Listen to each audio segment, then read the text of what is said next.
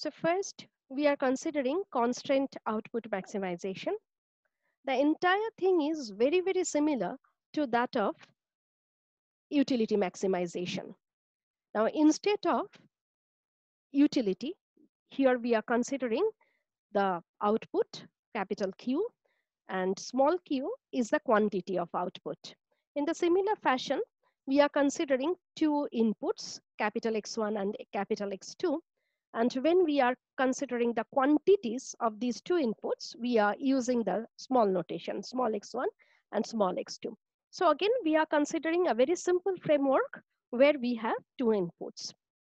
Now to begin with, both in case of constant output maximization and in case of constraint cost minimization, I have considered all the factors to be variable. So I hope you are understanding the implicit assumption for this output maximization as well as the cost minimization will be we are considering the long run context. Because in case of production if all the factors of production are variable that is defined as long run. If we consider a factor to be a constant or if we consider there are few factors which are constant along with some variable factors that will be essentially the short run context so the first layer of exercises we are trying to do or trying to discuss are implicitly assuming the long run context. So the production function is Q is equal to f of x1, x2. Like the utility function, here also we are considering f is continuous, which means it has continuous first and second order partial derivatives. Next, we assume the f is regular, strictly quasi-concave function when output is maximized or cost is minimized, satisfying the condition. This is the condition and uh, by this time you are very familiar with this condition. This condition is indicating strict quasi-concavity of the production function. Now, if the production function is strictly quasi-concave, then the level curve will be strictly convex. So you know all these things, isn't it? If a function is strictly quasi-concave, the corresponding level curve will be strictly convex to the origin. Mm, yes, ma'am. Okay. And here we are assuming that partial derivatives of f, that is f1, F2, these two elements are strictly positive, which implies we are considering marginal productivity of both the inputs are positive for the relevant range of isoquant. Now, from where the isoquant is coming? The general production function is Q is equal to f of x1, x2. Now, if I consider a particular level of output, that means we are considering a particular negatively sloped, strictly convex curve. And that negatively sloped, strictly convex curve is called the isoquant. So this production function, when we will consider Q to be fixed, will give us the graphical representation in terms of an isoquant. Now, it may happen at the end of the isoquant, the curve may become positively sloped. That is, as we continuously substitute one input by the other, marginal productivity of the input which we are continuously increasing, its productivity falls. Because production is related to a technological issue. And technology requires a particular combination of two inputs. Now there may be a range within which there is a comfortable substitutability between the inputs. That is changing the combination you can generate a particular level of output but that cannot be go on indefinitely it cannot happen that continuously you will substitute one input by other and your technology will be comfortable to this kind of substitution. So under most of the circumstances, what happens, it becomes horseshoe kind of thing. In context of indifference curve too, we considered this kind of context, but that is a very special context when we consider the indifference curve or when we consider utilitarian framework. But in context of production, it's a common thing because when we are considering different combination of two inputs, this is associated with the technology and technology has comparatively lesser tolerance rather than utility related matter. So isoquant in general, uh, after the two ridge lines will become positively sloped. So specifically, I have mentioned partial derivatives of f are strictly positive within the ridge lines, implying that marginal productivity of the inputs are positive. Now, what is the definition of ridge line? What is a ridge line? Anyone? a line that differentiates between the uh, feasible zones and non-feasible zones for a producer. Okay, very good. And feasibility and non-feasibility is in terms of tolerance of technology. Whether we can, we will be at all uh, able to produce the commodity. That is the thing, tolerance level. Is it clear to all of you, all the points in this slide? Yes, ma'am. Yes, ma'am. So in the next step, we are presenting the isoquant. Q naught is equal to f of x1, x2. And if we like to consider uh, or like to derive the slope of the isoquant, we are finding dx2 by dx1 is equal to minus of f1 by f2. Since we are considering the zone within the ridge lines, that is, we are considering marginal productivity of each of the factor to be positive. Therefore, this minus of f1 by f2, that is negative or isoquant is negatively sloped. The ratio f1 by f2 is called rate of technical substitution, RTS, or it is also called MRTS, marginal rate of technical substitution. In case of utility, the same ratio is called the MRS, marginal rate of substitution. But here the technology is very important. Therefore, the name is rate of technical substitutions or MRTS, marginal rate of technical substitutions. Next, we consider the curvature. And if you take the derivative, actually you derived this thing in context of utility. So I hope, again, you will be able to derive it. So if you take derivative of this f1 by f2, we are getting this expression. Now, in this expression, the term within the parenthesis, that is f11, f2 square, etc., that is negative. And f2, since we are considering the feasible zone, is positive. Therefore, this entire expression will be positive or negative? Positive. Positive, because this is negative by the condition of strict quasi-concavity. f2 is positive, so minus, and this is negative, giving the expression to be positive. Now, if the second order derivative is positive, that indicates convexity of the curve. So isoquant is strictly convex.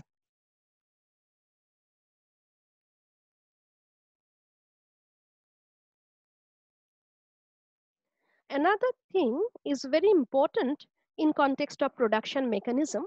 Therefore, I have mentioned this, that is the elasticity of substitution.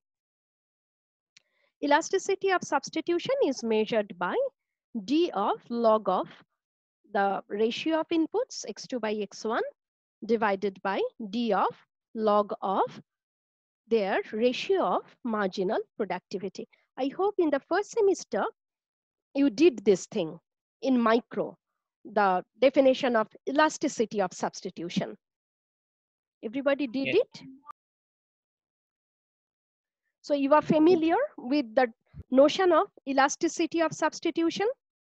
Actually, the elasticity of substitution is coming because of technology. I mentioned one term, tolerance of technology. It is not that we will continuously substitute one input for other and we will have some feasible technology to produce the similar commodity. So in case of uh, this substitution, considering the marginal productivity, there is the issue related to technological tolerance.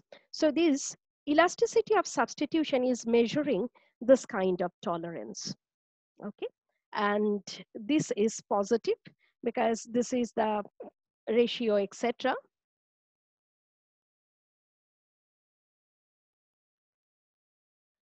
So uh, since you know the definition of elasticity of substitution, you know this elasticity of substitution is positive.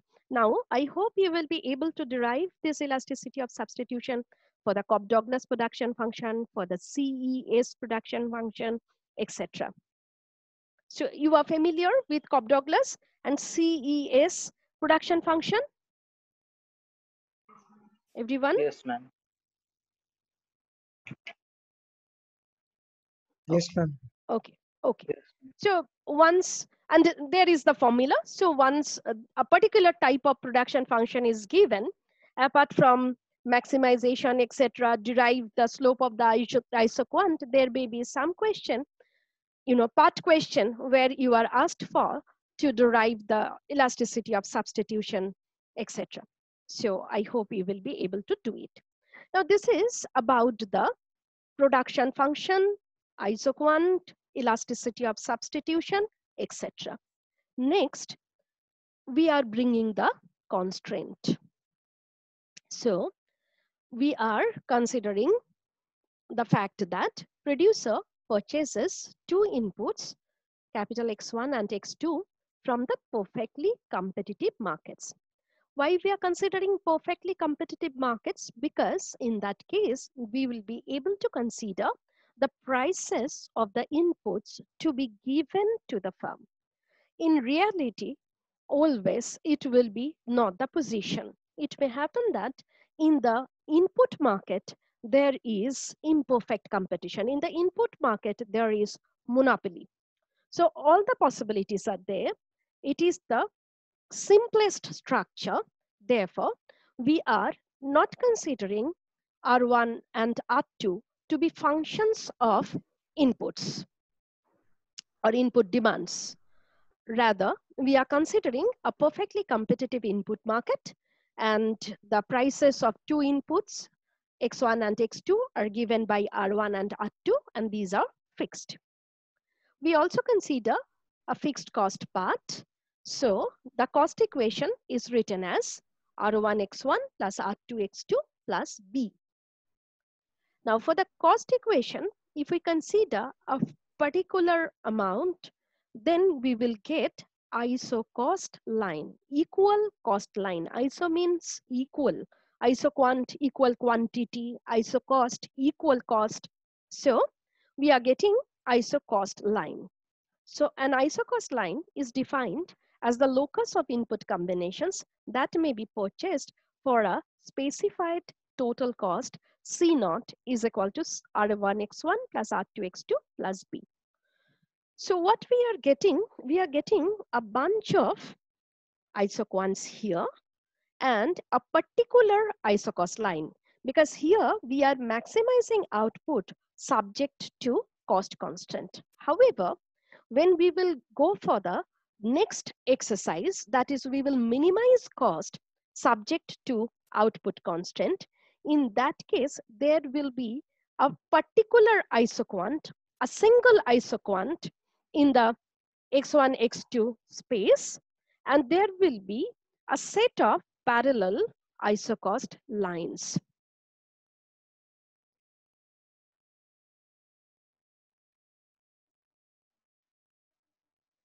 So this is the situation. So here in case of output maximization, typically we are getting a situation where we have the isoquant map, a bunch of similar kind of isoquants, which are non-intersecting in nature, and we have a single isocost line. Now, equilibrium will be achieved when we will have the best possibility. Now, the best possibility is the point of tangency between the isoquant and the isoquant isocost line. So this particular isocost line will touch one of the isoquants and that point of tangency will give us the equilibrium values of two inputs x1 and x2. So we will get x1 star and x2 star or the combination of equilibrium inputs in that way. Once we get the equilibrium x1 star and x2 star, putting these values in the production function, we will be able to get the maximum output we can produce.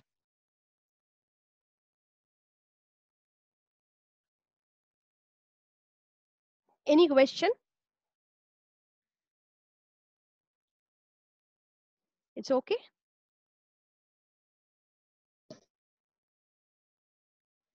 Before going to the maximization exercise, just I have presented the isocost line in terms of y is equal to mx plus c form. And we are understanding m is given by minus r1 by r2. r1 and r2 are the input prices, therefore positive. So the minus sign with r1 by r2 indicates it is a negatively sloped line where the absolute slope of the isocost is given by relative prices of two inputs. So finally, we are in position where we will maximize Q, which is a function of x1, x2 subject to this cost. The required Lagrangian expression is V is equal to f of x1, x2 plus mu, mu is the Lagrange multiplier, C naught minus R1, x1 minus R2, x2 minus B. By this time, you are quite familiar with the Lagrangian expression and you understand if you consider R1, x1 plus R2, x2 plus B minus C naught, that form, in that case, here you have to consider minus mu. So this is the required Lagrangian expression where we are accommodating both the production function as well as cost constraint. You know, mu is not equal to zero. Then we consider the possible first order conditions, del v by del x1, which is f1 you know, del v by del x1, sorry, equal to f1 minus mu r1 is equal to 0. So if you look at this expression, you are getting f1, you know, del f by del x1 minus mu r1 is equal to 0. Del v by del x2 is equal to f2 minus mu r2 is equal to 0. And del v by del mu, you are getting back the cost equation c naught minus r1x1 plus r2x2 minus b is equal to 0. So what we will do, we will divide 1 by 2. Actually, we have to solve for two variables x1 and x2. So we do not need three equations. So what we have to do, we will combine equation 1 and 2 considering del v by del x1 divided by del v by del x2, which gives the equation f1 by f2 is equal to r1 by r2. So this is the line along which production takes place. So this is equation number four. Once we get this equation number four, solving three and four, we get optimum amounts of x1 and x2 given by x1 star, x2 star. x1 star and x2 star will be functions of R1, R2, and C0. I'm repeating X1 star and X2 star are functions of three parameters R1, R2, and C0. Now, we can give an interpretation of the Lagrange multiplier in context of output maximization too. In case of utility maximization, in case of expenditure minimization, we interpreted Lagrange multiplier. Here, we will also interpret Lagrange multiplier in context of production where we are maximizing output subject to the first order conditions. So from these two equations, we can write the Lagrange multiplier mu as F1 by R1 is equal to F2 by R2. I hope you are getting similarity with lambda when we derived it with respect to utility maximization. We got lambda is equal to F1 by P1 equal to F2 by P2. Here we are getting marginal productivity of input 1 deflated by the price of input 1 or marginal productivity of input 2 deflated by the price of input 2. So this means the worth of each of the inputs, the value of each of the inputs.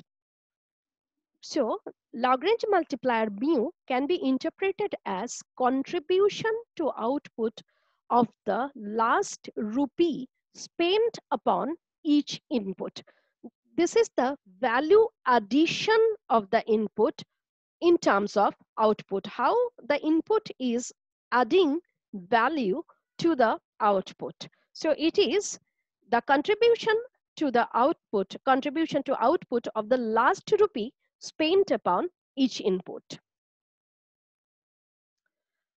The multiplier mu is also the derivative of output with respect to cost with prices constant and quantities কন্ট্রিবিউশনের জায়গাটা একবার বলবে okay আমি Lagrange multiplier contribution of yes lagrange multiplier is marginal productivity of a factor divided by its money price r1 is the price monetary price the price you know the unit price by which uh, uh, the unit price which you are spending to get the commodity. And marginal productivity f1 is the contribution of input. If you increase one unit of input how it will contribute to the output. Okay. So f1 is basically